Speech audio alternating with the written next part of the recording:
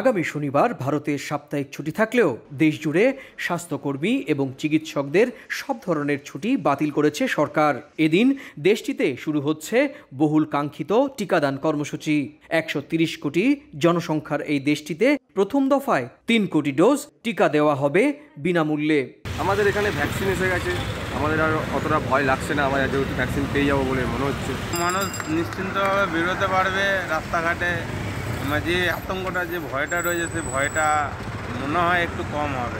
এরই মধ্যে কলকাতা মুম্বাই দিল্লি বেঙ্গালুরু গুয়াহাটি সহ ভারতের তেরোটি শহরে পৌঁছে গেছে ভ্যাকসিন।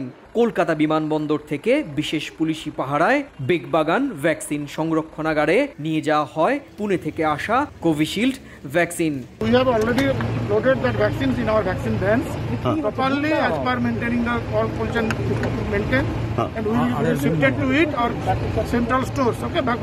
বুধবার পশ্চিমবঙ্গের জেলায় জেলায় পৌঁছে যাবে ভ্যাকসিন প্রত্যেক টিকাদান কেন্দ্রে পাঁচজন বিশেষজ্ঞ দল থাকবেন। পুরো প্রক্রিয়া পরিচালিত হবে কোউইন নামের একটি অ্যাপের মাধ্যমে। মঙ্গলবার সকাল থেকেই পশ্চিমবঙ্গের বিভিন্ন জেলায় পৌঁছে যাবে ভ্যাকসিন আর আগামী শনিবার, অর্থাৎ ষোলোই জানুয়ারি থেকে শুরু হয়ে যাবে পুরোদমে টিকাকরণ কর্মসূচি। কলকাতা থেকে সুব্রত আচার্য সময় সংবাদ।